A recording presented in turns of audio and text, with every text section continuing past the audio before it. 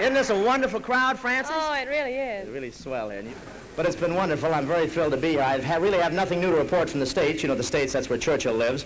I, uh...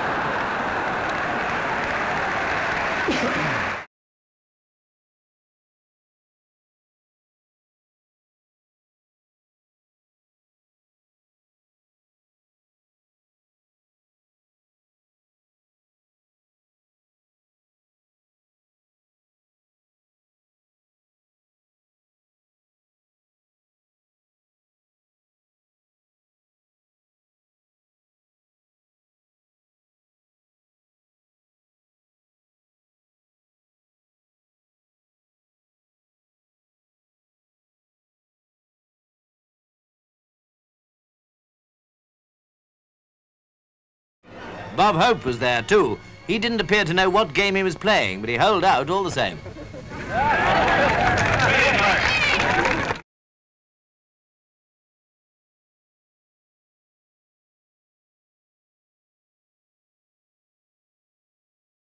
After an hour's show, as has been his custom, Hope toured the wards of servicemen unable to be at the performance. Isn't that something? Jim Nabors. How you doing, Jim? Right. I See you.